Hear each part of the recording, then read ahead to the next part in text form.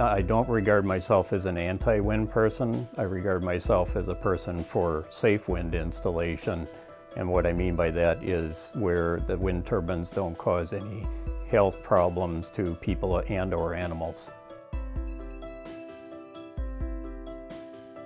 In my professional opinion, most of the nuisance problems and, and health problems is primarily coming from the pressure pulsations in the infrasound range, which is very low hertz level noise. Probably hear it in kids' car stereos that they have nowadays with a very loud booming noise. Uh, that's in the infrasound range. And infrasound can be audible if the noise level is very high, uh, but what we're recording from the wind turbines is showing it to be, for the most part, in the inaudible range.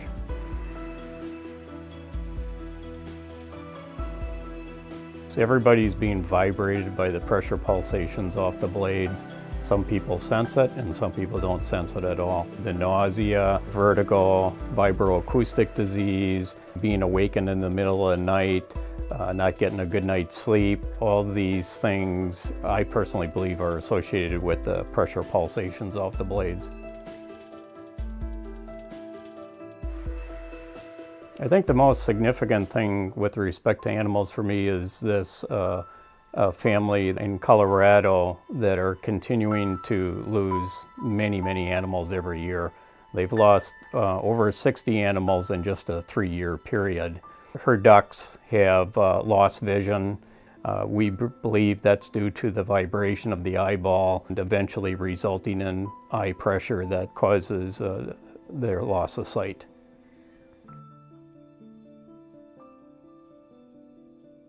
It's very typical in chickens. Uh, chickens will quit laying eggs, or if they do lay eggs, the shells will be extremely thin. And when farmers have taken their chickens off of the farm away from the wind turbines, they will end up sleeping for like three or four days straight because they're not getting a good night's sleep. And so some of the animal deaths that we've seen when they've been analyzed to determine why they died, it, it, that sometimes the vets come to the conclusion it was due to lack of sleep. I'm of the opinion that a lot of the animal deaths that we're seeing throughout the world are definitely related to the pulsations off the blade and those pulsations occur every time a blade is pointed vertically downward and then along with that first pressure pulsation are eight harmonic pressure pulsations that follow after that.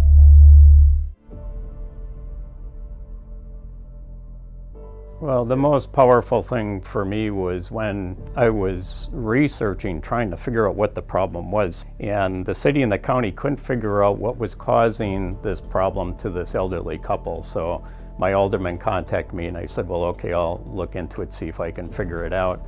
And there was audible noise at the home that was coming from a cooling tower, but it wasn't uh, a high level noise that would create a noise violation. I thought maybe perhaps it could be infrasound, so I was studying infrasound. I found research material that was suggesting that industrial wind turbines may be producing the same type of infrasound. And then I was contacted by a family in Denmark, Wisconsin, and I agreed to help them as well. So as I was researching these two families, trying to figure out if this might be infrasound, I got a doctor to donate his time so that we could compare the two families in the doctor's office, and the symptoms were very much the same. This was the first time these two families ever met each other. They wanted to learn more from each other, so they went to the house near the cooling tower and the family that lived near the wind turbines got so sick they couldn't stay there. So I convinced the town to hire an acoustician with experience in infrasound. We chose one, we tested both sites, and both sites had very significant pressure pulsations in the air. So that was kind of my aha moment when I finally thought, okay, I think I'm onto something here, and, and our acoustician proved it. Well, after the tests were conducted, we took it back to the, the uh, city of Green Bay and we contacted the company that owned the cooling towers and the company refused to do anything. And uh, because it didn't violate any codes because uh, there are no codes that I know of in any community in the United States for infrasound. So we took the issue to the Board of Health um, as well as the cooling tower hoping that maybe we could get something done through the Board of Health because the state didn't want to do anything, which the board, after much research, had agreed with what we had found and declared the wind turbines uh, hazardous to human health. This is not an exclusive problem, just the wind turbines. We found other cases in the state, uh, one in Oshkosh with vibration off of a natural gas generator system, a wood boiler system in Stevens Point. It's common with any very large type of air moving type system. Uh, they can create these pressure pulsations to the point where it can become very irritating. The cooling tower industry admits that infrasound can be a problem if you're installing in a residential neighborhood. And so they highly recommend that if you're going to build a cooling tower system in the middle of a residential neighborhood, you need to use cooling towers that produce very low levels of infrasound. But that's not the case with the wind turbine industry. The wind turbine industry still denies that these things are going on. Uh, but we know that they've tried different blade designs to try to get rid of the pressure pulsations, but um, they still deny that it's happening. Even though we have the tests to prove that the wind turbines are producing this, these pressure pulsations are very significant from high pressure to low pressure to high pressure to low pressure. It's my opinion that we want to do something so badly about climate change that they're willing to look the other way. There are people that believe that, you know, if we can't have wind turbines, we're not going to achieve the goal of reducing CO2 emissions in hopes of getting climate change under control. And so there's a lot of people who will just look the other way.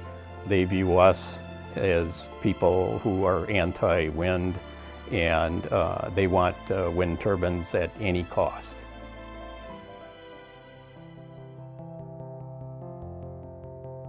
We've had no success with our state. They are saying that there's a lack of evidence. And so without the state support, it's up to each community to take on the situation themselves. One of the ways is families could sue, but the problem with that, it's now become so expensive that they can't afford it anymore. We're talking about somewhere around $150,000 to $200,000 up front plus 20% of the take. So then the only other solution is to appeal to their Board of Health. But the Board of Health, in, in many of these cases, may declare a nuisance or hazardous to human health, as we did here in Brown County. Then the next step is to get the director of the health department to agree and say shut them down. Those directors are, in my opinion, getting a lot of pressure from the top people in the county not wanting to go into a lawsuit. So if the Board of Health tells the developer or the utility to shut them down, now you're in the middle of a very expensive court case.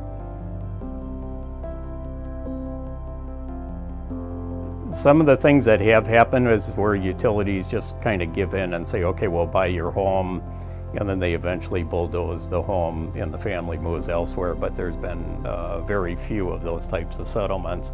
But if there is a settlement, um, then there's a gag order attached to that settlement where the people are not allowed to talk about what the settlement was or even that there was a settlement.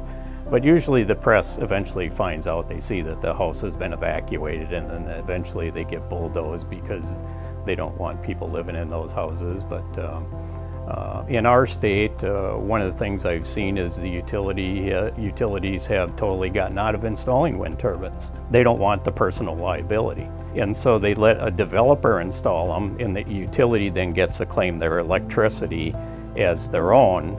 And in Wisconsin, as in many other states, uh, they require the utilities to produce a certain percentage of their electricity from uh, renewables the utilities who, uh, in my opinion, really don't want to be installing renewable electricity because of its high cost will at least meet the state requirements uh, that they are required to meet every single year.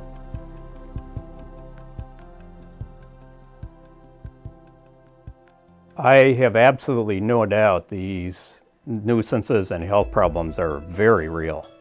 I'm very concerned about the potential health outcomes of people due to some of the medical research that has already occurred at different universities uh, due to uh, collagen buildup in the body, uh, causing the heart tissue to toughen up and the, the, the heart uh, then has to pump more frequently to supply the oxygen to the, to the body, causing fatty liver and things like that.